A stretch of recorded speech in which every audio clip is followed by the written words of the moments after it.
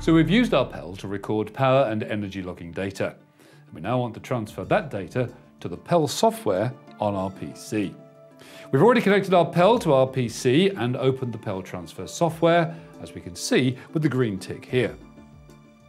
Under Recorded Sessions, simply double-click on the recorded session and the transfer will begin.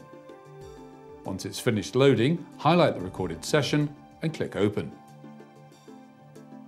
The first thing you'll see on screen is the session name, when it started, when it ended, and the duration of the recorded session.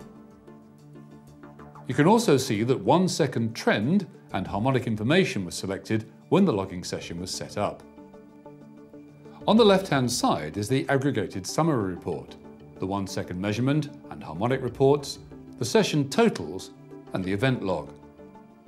The one minute summary shows the measurement results in graph form on the display against time. The current scale is on the right hand side and the voltage scale on the left.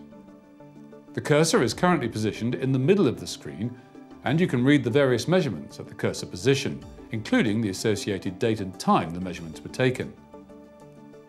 To look at currents on their own, simply click on the current symbol and the three-phase current graphs will be displayed.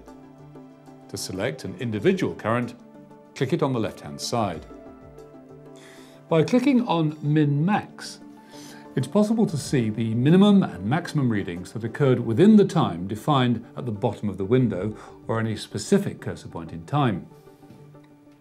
Clicking it again to deselect it, you can now move to the Energy button to see the energy being used.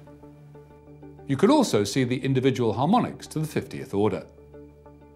It is also possible to zoom into any part of the graph by clicking on the right-hand side menu and selecting Zoom Tool from the drop-down. Highlight the area of interest by clicking and dragging the cursor. By clicking on one second harmonics, we can see a graph of each harmonic as a percentage of the fundamental over time. The bar graph symbol shows the relative magnitudes of all the harmonics. You're able to display only the first 15 or 25 harmonics, if that's all that's required, or one particular phase on its own. Alternatively, you can look at just the odd or even harmonics, or even the triplen harmonics. By clicking Session Total, you can view the energy used during the logging session. We have no data here, and the event log shows the start of the recording and in this case, the fact that the user stopped the recording before the scheduled time. All the test data can be transferred directly into a spreadsheet or you can select a particular time range and select the particular data that you require exporting. The spreadsheet will open with various tabs. In session totals, the unit cost of energy could be added, and the spreadsheet will calculate the actual cost of energy used during the logging session. Reports can be printed here with a preview feature to ensure you get what you want, including the minimum, maximum, and average recorded values.